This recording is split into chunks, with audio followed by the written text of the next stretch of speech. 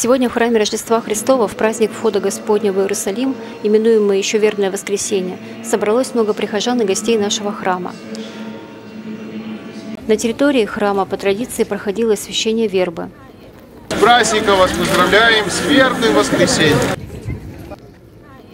Участники молодежной общины храма Рождества Христова организовали и провели выставку-ярмарку своих поделок и работ.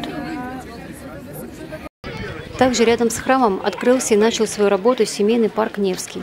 И сегодня после божественной литургии его осветил настоятель храма протерей Александр. Окропление воды сия священной во имя Отца и Сына и Святого. Аминь. Благословен гряды во имя Господне. Парк представляет собой территорию веревочного комплекса, а также площадку для игры лазертаг и беседку, где можно проводить детские праздники и дни рождения, что особенно будет интересно для мальчишек. Парк назван в честь святого князя Александра Невского, 800-летний юбилей, со дня рождения которого отмечается в нашей стране в этом году.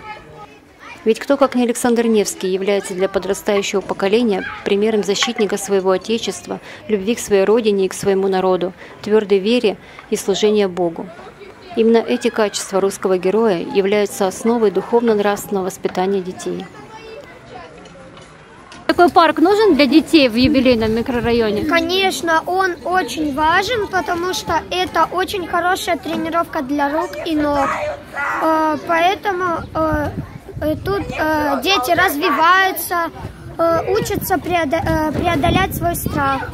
Приглашаем всех желающих в храм Рождества Христова со своими семьями.